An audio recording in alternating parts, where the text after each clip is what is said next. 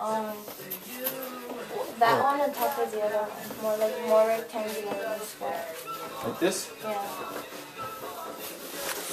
I would say just for the sake of competing with the mosquito, this seems like the scale of probably a good sized phone to be like a prop, kind of a jokey prop. Because their mosquito is going to be pretty big. So if your phone's like this two times scale, it's going to look like an iPad and not like a ridiculous phone. And I think we want more like ridiculous. Over the phone. top. Yeah.